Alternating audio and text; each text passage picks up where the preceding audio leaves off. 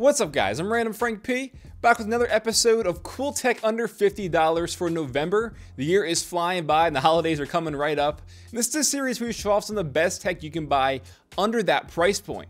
If you see anything you like, I will have it all listed for you in the description down below so you can check it out. And first off is something pretty cool for gamers out there. This is a two foot pedal and actually lets you, you know, tie inputs into your game.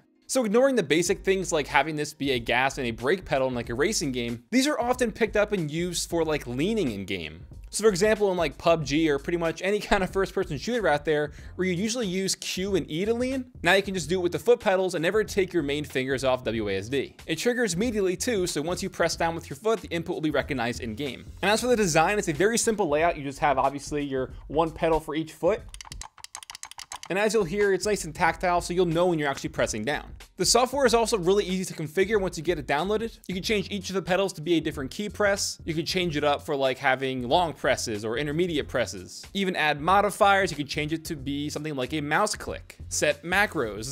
The software actually gives you a lot of possibilities that you can tie these two buttons to. So now you can put your feet to use and have those two extra input controls. And obviously it's not limited to just gaming. You can use it for like Photoshop if you want to like undo or erase your previous step. You get the idea. A pretty cool pickup. I got it for $35 when I just checked. It was on sale for 40. So I think gamers out there could definitely uh, appreciate this. Next is the new version of the Amazon Echo Dot. It actually makes some pretty good improvements.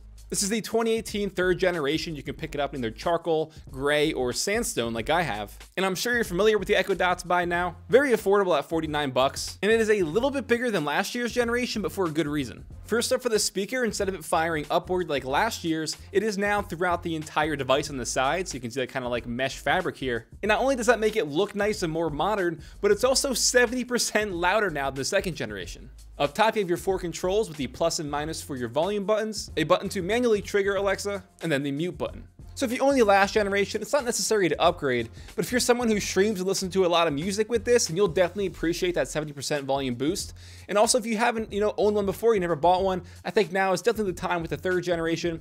And also be a pretty good, I think, a uh, little gift for the holidays. If someone doesn't have one of these, a good little pickup for $50. Next for the always popular audio gadget on the episode, this is the 1Mii Bluetooth extender and it's actually one of Amazon's top rated Bluetooth devices. And now yes, while this little guy looks like a mini router, what it does is pretty much extends your Bluetooth range, kind of like how there are those Wi-Fi extenders out there. This lets you extend your Bluetooth up to 230 feet.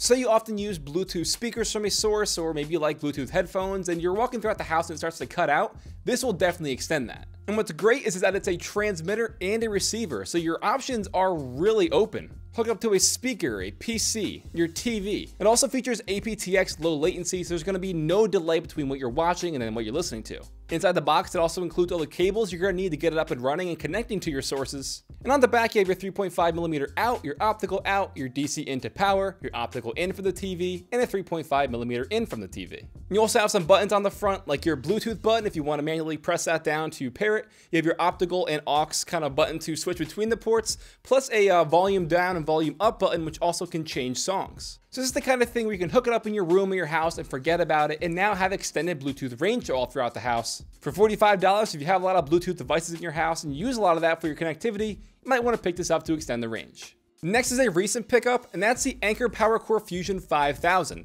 It is a wall adapter for plugging in and charging your devices, but also a battery bank for on the go. And with the name being 5000, that means you obviously have 5000 milliamp hours built in. That'll definitely give you at least a full charge on most recent phones. So they do come in three different colors, red, white, and black. It also has the Power IQ technology, so it's gonna charge your phone the fastest that it's capable of. It's nice and compact, and I just like how it's versatile for both, you know, charging your phone at home, then while you're going out, you can just, you know, unplug it and use it as a battery bank on the go. Definitely an ideal gadget for like a day trip or something like that. You can pick these up for $25. Then lastly, for all you MacBook users out there, is a Kickstarter for the Dockcase. I've been using it recently and I love it. This is essentially a dock for your power brick. You plug it in, it connects, and now it gives you tons of extra ports on your actual charger instead of having you to carry around things like, you know, extra dongles and docks that you plug into the side of your laptop. I think it's a really cool idea, and they have a few different models for their Kickstarter. This one here has two USB 3.0s plus an HDMI. And then below the Dockcase logo, obviously, is going to be your USB-C port, which is going to let you connect it and sync everything to your laptop.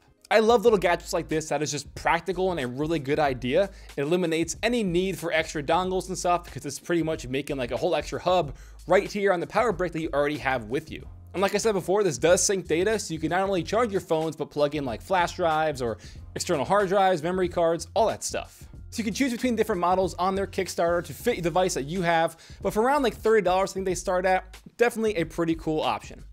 And guys, that'll wrap it up for this episode of Cool Tech Under 50 for November. Hope you all enjoyed. Don't forget, check the links in the description down below. I'll have everything we showed off today down there for you. If you liked this episode, give it a thumbs up to show your support. Feel free to follow me on Twitter at RandomFrankP. And lastly, if you haven't already, hit that subscribe button. Well, I'm Random Frank P. Hope you enjoyed. Have a good day.